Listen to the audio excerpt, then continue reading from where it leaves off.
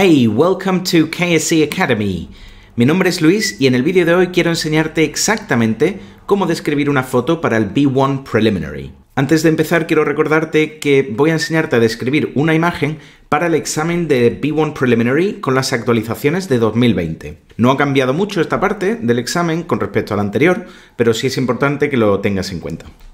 Muy bien, vamos a ello. ¿Qué vamos a aprender hoy? ¿Qué te voy a enseñar en este vídeo? Pues muy bien, vamos a empezar con una descripción muy breve del examen, ¿vale? ¿Cómo es el Speaking Part 2 del B1 Preliminary PET?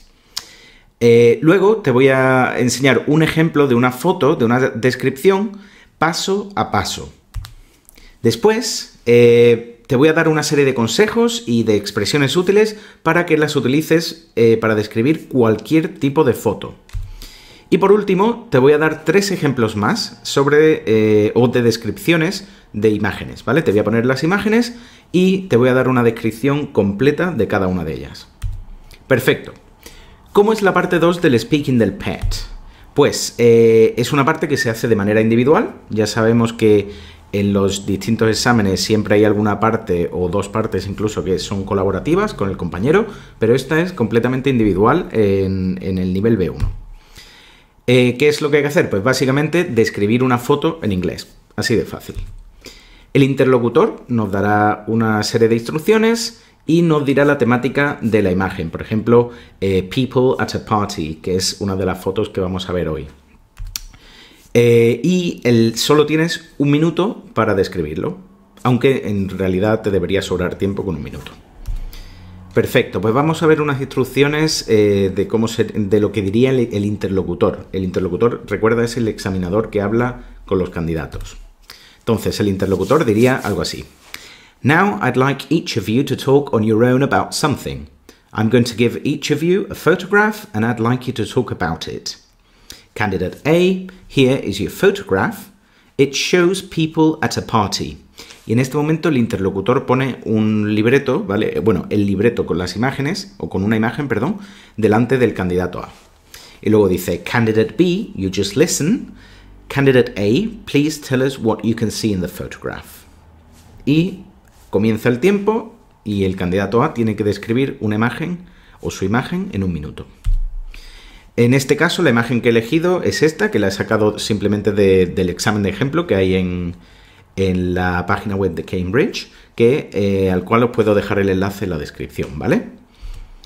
Muy bien, pues eh, vamos a empezar con la, estructura que yo utilizo y que yo enseño a mis alumnos siempre para describir una foto, ¿vale? Es una especie de reloj de arena. ¿Por qué he elegido esta estructura? Pues muy bien, porque vamos a empezar por algo muy general, ¿vale? Una descripción muy general de, de la foto, vamos a ir hacia algo más detallado, ¿vale? Por eso se estrecha ahí el reloj. Y luego eh, vamos a ir hacia algo también más global, ¿vale? Como vamos a ver. Entonces, lo primero sería una descripción global breve de la, de la escena de la imagen. Luego vamos a dar una descripción detallada de lo que está ocurriendo. Luego vamos a especular un poco sobre cosas que pueden estar pasando en la imagen. Y por último, eh, vamos a hablar de detalles menos relevantes. Por eso, la forma del reloj de arena, ¿vale? De lo más global a lo más específico y luego otra vez a cosas globales, como los detalles menos relevantes, como que veremos luego. Muy bien, pues ¿cómo comenzamos a describir una foto? Es decir, ¿cómo hacemos esa descripción global? Pues eh, la forma de empezar es muy fácil, ¿vale? Siempre podemos empezar con estas dos eh, frases. In this picture I can see o this picture shows. Em, os recomiendo, ¿vale? O te recomiendo que memorices estas frases tal cual. ¿Por qué? Porque hay mucha gente que las mezcla. Hay mucha gente que dice, in this picture shows, y eso no es correcto. Entonces, por favor, elige una de las dos y memorízala muy bien y no cometas un fallo tan tonto en la primera frase de la descripción, ¿vale? ¿Qué tenemos que hacer luego? Pues muy bien, tenemos que responder a tres o cuatro cosas, ¿vale? Tres o cuatro preguntas a who, es decir, quién hay en la imagen, doing what, es decir, haciendo el qué, y where, ¿vale? ¿Dónde? Estas tres cosas son básicas. Y aparte, además podemos añadir when, ¿vale? A veces es más fácil, otras veces es más difícil, por eso digo que, es opcional. Pero las tres primeras son esenciales. Entonces, para esta imagen, por ejemplo, tendríamos who, pues an Asian family. Eh, doing what, pues having lunch. Eh, where, in the garden. When, a beautiful sunny day. Entonces, ¿cómo quedaría esta introducción para esta imagen? Pues muy fácil, así. In this picture, I can see an Asian family having lunch in their garden on a beautiful sunny day. Y ya está. Esa es una frase perfecta para empezar la descripción de esta imagen que tenemos ahí. Pasemos a cómo describir los detalles. La premisa general aquí es, como habéis visto antes, la forma del reloj de arena.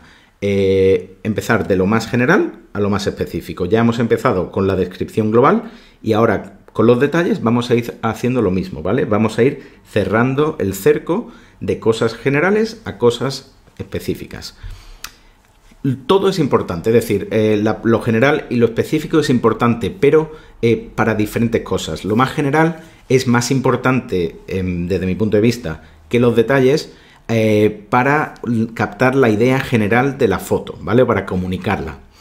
Mientras que lo más específico también es importante, pero sobre todo a nivel lingüístico, porque le estamos diciendo a los examinadores, o le estamos mostrando a los examinadores, que sabemos hablar de los detalles que está concurriendo en la foto, ¿vale? Entonces, empecemos. Eh, yo diría algo así, para esta imagen diría algo así, ¿vale? There are five people in the picture. Three of them are sitting around a table and two of them are standing up. They all seem very happy. ¿Vale? Entonces, three of them are sitting around a table, two of them are standing up, and they all seem very happy. On the table, there are plenty of dishes with food and some glasses with orange juice. I can also see a bottle of water on the left. ¿Ok? Entonces ya hemos descrito, fijaos, hemos empezado por lo importante que son las personas de la imagen, que tres están sentadas eh, y dos de ellas uh, standing up, y luego nos hemos centrado en la mesa, ¿vale? ¿Qué hay en la mesa? Pues comida, una botella a la izquierda, etc. Vale, ¿Cómo especulamos sobre una escena? Porque ya hemos, eh, recordad, hemos hecho la descripción general, hemos pasado a una descripción más detallada y ahora vamos a empezar a especular sobre cosas que pueden estar pasando pero de las cuales no estamos seguros. Eh, la, premisa aquí es básicamente inferir conclusiones de cosas que vemos en la foto. Y podríamos hacer algo así. The man in the middle looks older than the others, so he might be he might be, perdonad, ahí falta un be, he might be a grandfather, and the other people could be his children or grandchildren, or children and grandchildren. ¿Vale? Estamos diciendo, este hombre eh, parece más mayor, eh, entonces podría ser, no estamos seguros, obviamente, pero podría ser el abuelo, y eh, la gente a su alrededor podrían ser sus hijos o sus nietos. The man on the left is holding a present, ok, aquí, and the woman on the right is holding some flowers, so I believe it might be someone's birthday or anniversary. That's probably why they are also happy. Es decir, como veo que el de la izquierda tiene un regalo y la de la, la, de la derecha tiene eh, flores, eh, pues creo que puede ser el aniversario o el cumpleaños de alguien, ¿vale? Fijaos cómo de cosas concretas que vemos en la imagen podemos sacar eh, unas conclusiones y también digo, probablemente por eso están todos tan felices, porque es el cumpleaños o el aniversario de alguien. Muy bien, entonces, descripción general, descripción detallada, especular, y ahora pasamos a cosas más globales que además son menos importantes, ¿vale? De hecho, a veces no da tiempo a mencionarlas y no pasa nada porque como no son tan importantes, eh, las podemos utilizar de, relleno, digamos, para la, última frase o para darle simplemente un final a nuestra descripción. ¿Y qué cosas son estos detalles menos importantes? Pues el tiempo y la estación del año, siempre podemos hablar de, estas dos cosas, eh, siempre basándonos en la ropa de, las personas que hay en la imagen. Y eh, por último, el fondo de la foto. ¿vale? El fondo no suele ser muy importante, pero siempre está ahí. Y si tenemos un poco de tiempo, pues podemos decirlo y mostrarles al examinador que también sabemos hablar de otras cosas menos importantes. Entonces, en este caso podríamos decir, It must be summer or spring because it's really sunny and the family are all wearing short sleeves. Es decir, debe ser verano o primavera, probablemente sea verano o primavera, porque está soleado y eh, llevan manga corta. Finally, in the background, uh, I can see some grass and a few trees. Perdón, I can see some grass, a few trees and the neighbors' houses. ¿Ok? En, al fondo, al fondo detrás de ellos. Y fijaos cómo decimos in the background, ¿vale? No on the background, in the background. Perfecto, pues eh, ya hemos visto esa descripción, ¿vale? De esa foto, paso a paso, desde lo más general a lo más específico y luego cosas generales y menos importantes. Ahora vamos a ver una serie de consejos y expresiones útiles que yo le doy siempre a todos los candidatos que presento al examen de B1 y que preparo para, para speaking. El primero de estos consejos siempre es este. Utiliza siempre la misma estructura. ¿Por qué? Porque eh, si utilizas siempre la misma estructura, te va a eh, resultar muchísimo más fácil aplicar esa estructura que tú tienes a todas las descripciones de las fotos que tengas que hacer para practicar o que te, que te salgan en el examen. Es como cuando en el writing te haces una especie de plantilla, pues en el speaking es lo mismo. Eh, luego, los tiempos verbales básicos eh, los tienes que llevar perfectamente, ¿vale? Porque describir una foto no normalmente no requiere utilizar muchos tiempos verbales. Entonces, sí, para utilizar el presente simple y el presente continuo, que son los básicos para describir una imagen, vas y te equivocas, pues no da muy buena impresión a, los examinadores. Entonces, eh, como he dicho, el presente simple eh, te va a hacer falta, por ejemplo, en frases como this picture shows o there is, etc. Y luego, sobre todo, cuando hablamos de la acción de la foto, como es algo que está ocurriendo, que está en progreso en la imagen, vas a tener que utilizar el presente continuo, como por ejemplo, they are having lunch in their garden, ¿vale? They are having. Perfecto. Siguiente. Eh, Vale, verbos útiles. Verbos útiles que, te van a resultar muy efectivos en cualquier imagen que haya personas, ¿vale? Empezamos con there is, there are, obviamente, es para decir hay algo en algún sitio. Por ejemplo, there's a lot of food on the table. También el verbo hold, ¿vale? Hold, sostener o agarrar algo. Si hay personas en la imagen, normalmente tienen algo en las manos, ¿vale? Por ejemplo, en la imagen que hemos descrito antes, eh, uno tenía un, regalo y la otra tenía flores. Pues eh, siempre vas a utilizarlo en presente continuo diciendo they are holding o he is holding. En este caso, the man on the left is holding a present. Y también eh, la posición de las personas, ¿vale? Para ello podemos utilizar el verbo standing, em, porque había dos personas de pie, y siempre en presente continuo también. The woman is standing on the right. También de verbos útiles de posición tenemos eh, sitting, ¿vale? Standing, sitting. Three of them are sitting around a table. Y también lying, que es estar tumbado. There's a woman lying on the sofa. En este caso no había, no había ninguna mujer en ningún sofá, pero sí, sí es posible que te aparezca, por ejemplo, gente en la playa o gente en casa en un sofá o en una cama o algo así. Intenta utilizar eh, adjetivos, ¿vale? Adjetivos descriptivos. Esto es difícil, obviamente, ya, pero también es cierto que a un B1 no se, no se le, a un candidato de B1 no se, le requiere que utilice muchísimos adjetivos. Por eso, si los utilizas, vas a, marcar la diferencia, vas a llamar la atención de los examinadores, ¿vale? Por ejemplo, en vez de decir a sunny day, puedes decir a beautiful sunny day, ¿ok? Simplemente con añadir un adjetivo como beautiful, ya estás... Eh, estás eh, mejorando tu descripción bastante.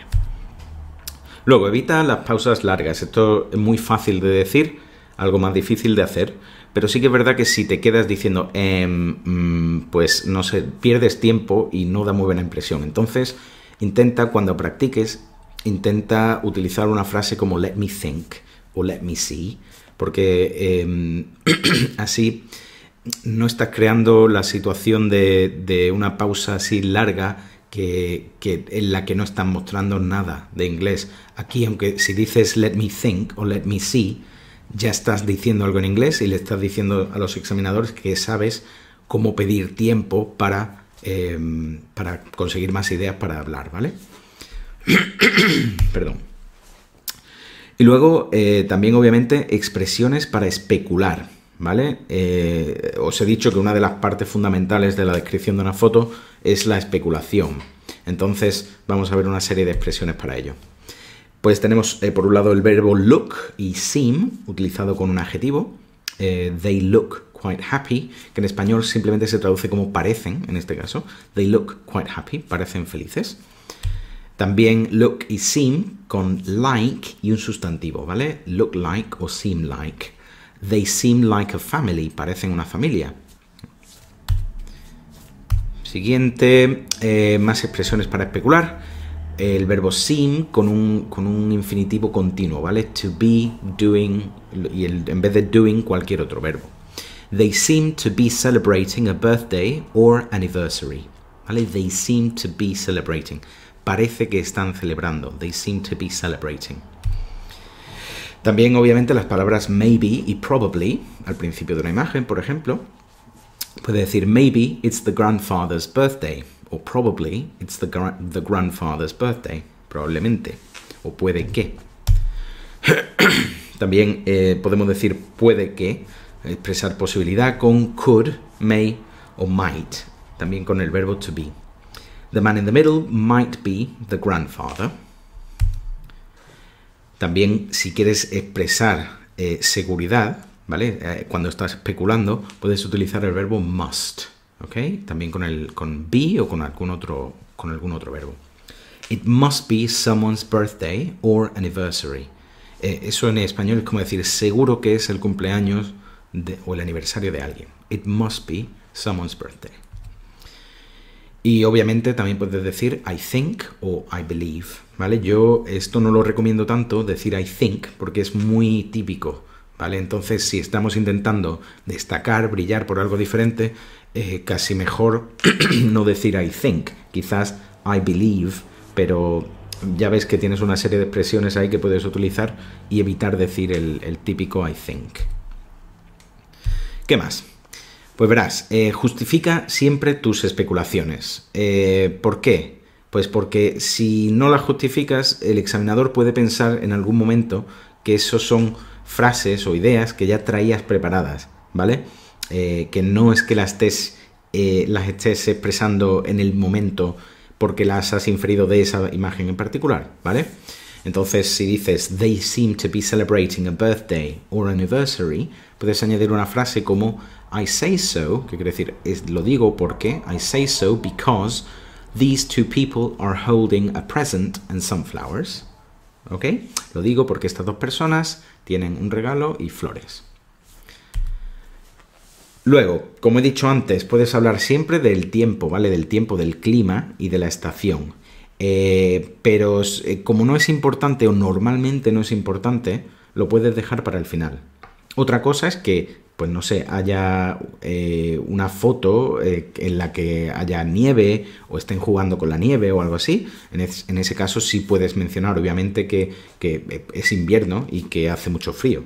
¿vale? Y eso lo puedes mencionar al principio de la foto porque sí que es importante. Pero en una foto como la que hemos descrito anteriormente, realmente no es importante mencionar el clima o la estación, ¿vale? Luego, eh, también puedes centrarte en algunas de las partes de la imagen, pero solo si es necesario. Y me refiero a lo siguiente, ¿vale? Si cogemos una imagen, la podemos dividir en todas estas zonas. Esto no quiere decir que tengas que hablar de todas ellas, ni que tengas que mencionar todas estas em, eh, frases preposicionales, eh, sino que si hay algo importante en una de esas zonas, que en vez de señalar con el dedo, que también lo puedes hacer, pues simplemente, simplemente que sepas eh, referirte a ello hablando y correctamente. Entonces, ya te he enseñado antes que podemos hablar del fondo de la imagen, entonces aquí tienes in the background, ¿vale? No on the background. Y si hubiese algo en primer plano, si hubiese algo, que no quiere decir que siempre lo tengas que decir, si hubiese algo puedes decir in the foreground, ¿vale? Y luego pues eh, simplemente si hay algo en alguna esquina o arriba, abajo, a la derecha, a la izquierda, fijaos muy bien eh, en la preposición que precede a la frase, ¿vale? No decimos on the top left corner, sino in the top left corner. Eh, y decimos on the right y on the left, pero decimos in the middle, ¿ok? Entonces simplemente quédate con este diagrama y eh, memoriza las preposiciones que van con cada uno, ¿vale? Luego, obviamente, tienes que utilizar preposiciones de lugar básicas, ¿vale? Muy básicas, muy básicas, como las siguientes. On, in, under, por ejemplo, on the table o under the table. También cosas como next to, behind, in front of, opposite. Em, todo esto lo puede utilizar para situar a la gente o para situar los objetos más importantes que haya en la imagen, ¿vale? Y también cosas como over, above o below simplemente si hubiese algo eh, importante que, situar o que localizar en la imagen a la hora de describirla.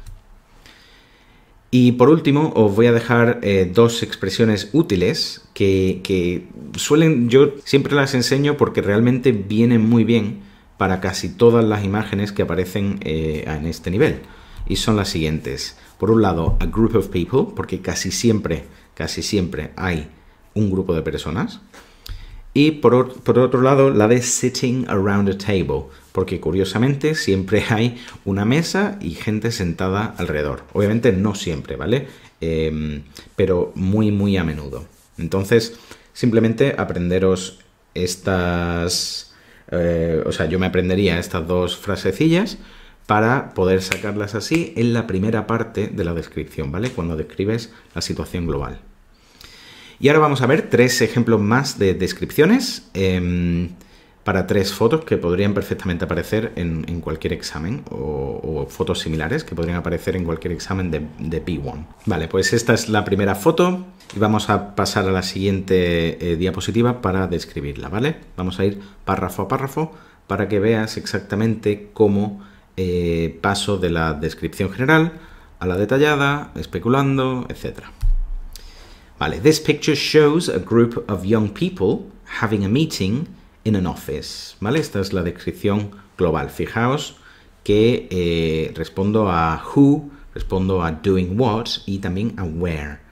Y que he puesto en negrita las expresiones que son útiles para cualquier descripción. Cosas que ya os he enseñado en, en el punto anterior. Uh, there are four women and three men. Three of them are sitting down on a sofa and three of them are standing up behind it. ¿Vale? Es, esta es la imagen. Okay, so three of them are sitting on a sofa and three of them are standing behind it. In the center, uh, there is a beautiful woman explaining something and the other people seem to be listening to her. Maybe she's the boss and the others are her employees. Entonces tenemos the beautiful woman, seems to be explaining something. Fijaos que ya estoy metiendo también especulaciones en la, descripción detallada. Eh, así que he dicho que ella a lo mejor es la jefa y el resto son sus empleados. In front of her, there's a table with a laptop, a pen and some paper. The woman on the right, in the foreground, might be taking some notes. So in front of her, there's a table with a laptop and some paper and the woman in front of her, sería esta chica de aquí, might be taking some notes. In the background, on the right, I can see a large piece of furniture with some plants. There is also a glass wall and a door. In the background, da, da, da, da, da, da. Eh, aquí, por ejemplo, no he hablado del tiempo, sí he hablado del fondo, pero no del tiempo porque realmente no es importante ni relevante para, para la descripción de la foto, ¿vale? Venga, veamos otra. Vamos a ver una descripción de, de esta imagen con estos dos chicos. In this picture, I can see two children taking a photo in the countryside. There's a boy and a girl who might be brother and sister or just friends. Okay, children in the countryside, brother and sister, or maybe just friends. He is standing on the right and he's holding a camera which is on a tripod. The girl is standing on the left, probably posing for the picture. They are very young children, maybe around five or six years old. Entonces, he's standing on the right, he's got a camera, it's on a tripod, and then the girl on the left is standing and posing for the photograph. The boy is wearing a light grey shirt and a pair of beige trousers, and the girl is wearing a beautiful red dress. Vale, eh, esto es algo que, que, enseñamos mucho en B1, que es a describir la, la ropa de, que, lleva la gente en las imágenes. Eh, sin embargo, yo eh, soy partidario de hacer esto solo cuando hay poca gente en la imagen y la ropa puede que sea relevante. Es decir, si, si, vemos la imagen anterior, aquí hay seis personas. Es imposible en un minuto describir la foto de cada uno de ellos y además no tiene sentido porque la foto no es relevante en esta imagen. Sin embargo, en esta sí que es importante porque además son dos niños pequeños, solos en la imagen, no hay otra cosa en la imagen aparte de, de árboles y hierbas y tal. Eh, entonces sí que es relevante e importante eh, enseñarle o mostrarle a los examinadores que sabemos describir la ropa de estos dos chicos, ¿vale? the scene is lovely because the ground is full of small yellow flowers and in the background there are many tall trees. It must be a forest. Seguro que es un bosque. It must be a forest. Fíjate, aquí ni he mencionado el tiempo tampoco. Y vamos a la siguiente, a la última. Tenemos aquí estos chicos jugando al fútbol. Vamos allá. This picture shows a group of teenagers playing soccer on a football pitch on a sunny day. A group of teenagers playing soccer on a football pitch. He decidido utilizar soccer aquí simplemente porque como vamos a decir football pitch, pues para utilizar otra palabra, ¿vale? Un sinónimo. I can see four or five teenage boys divided in two teams. One of the teams is wearing red and white t-shirts and shorts, whereas the other team's kit is black and white. ¿Vale? Uno lleva el uniforme, bueno, camiseta roja y tal. Um, and the other team's kit is black and white. Eh, aquí hay una falta de ortografía, ¿vale? Eso es red, obviamente sin la, sin la ¿Vale? Entonces, four or five teenage boys uh, wearing red t-shirt, red and white t-shirt. Y luego también he utilizado la palabra kit, que quiere decir eh, como la equipación.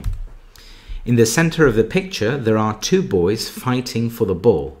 And behind them, pardon, and behind them, there is another player looking at them. He's a little chubby. A little chubby, poquito rellenito. They are all playing on a grass pitch. Pitch, eh, recuerda que es la pista, puede ser de fútbol o puede ser también de, de rugby y deportes así. In the background, I can see the goal and the goalkeeper. Perdón. The goal and the goalkeeper, el portero. As well as a lot of vegetation, especially trees. Okay, especially trees. It's a beautiful sunny day, but I think it must be too hot to play football because it's probably summertime. Pero creo que hace mucho calor. It's probably summertime. ¿Vale? Pues eh, fíjate, ya has visto cuatro descripciones de imágenes, eh, siempre con la misma estructura. Fíjate aquí la descripción general, luego más detallado, y detalles menos importante y especulación, ¿vale? Siempre esa de lo más global o lo más general a lo más específico y luego especulamos y cosas menos importantes. ¿Vale? Si tienes alguna pregunta, no, no te olvides de dejarla en los comentarios.